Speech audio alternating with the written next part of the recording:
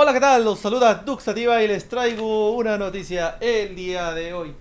Un nuevo estudio, sí, un nuevo estudio compara de que exponerse a videojuegos violentos es como fumar cigarro, es como el hábito del cigarro, por así decirlo. Puedes fumar, es como fumar un cigarro una vez, no te va a dar cáncer, pero si lo sigues fumando más, más, más, más, te da cáncer, ¿no? Y bueno, pues pasa lo mismo con videojuegos según este estudio, ¿no? La cual fue hecho en la Universidad de Pierre Méndez, allá en Francia. Pierre Méndez, en Francia. En la cual este, analizaron, este, separaron a dos grupos de personas. Ya saben, ahora con esto de, lo que pasó en Conérico y demás, bueno, ahora todo el mundo hace estudios. Pero les voy a contar qué hicieron estas personas.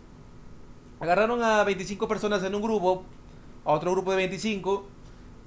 el primer grupo jugó puro videojuegos violentos, entre ellos shooters como en la imagen Call of Duty, para ser más exacto, por tres días seguidos, prácticamente, o sea, por horas, no obviamente, por muchas horas.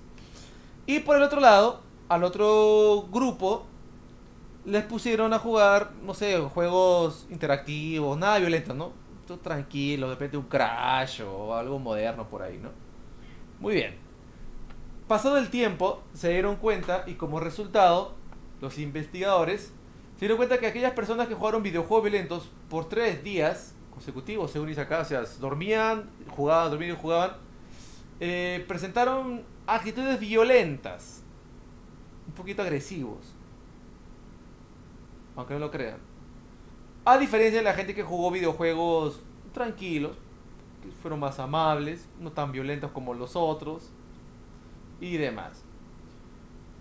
Jugar videojuegos puede ser comparado como fumar cigarros un solo cigarro no puede causarte, lo repito, cáncer al pulmón, pero fumar mucho durante semanas, meses o años, obviamente aumenta el riesgo. De la misma manera, en los videojuegos, acumulas ser agresivo, ¿no? O aggression, acumulando ser agresión, ¿no? Bueno, eso es lo que dice este estudio.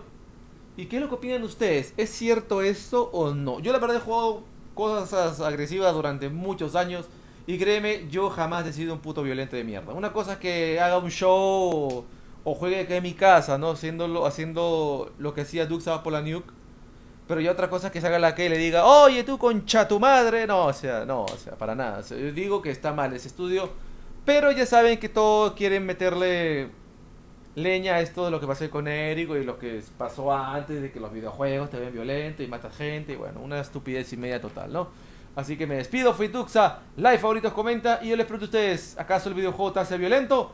¿O tú mismo decides ser violento? Un abrazo y nos vemos hasta la próxima Gamer. Saludos. Chau.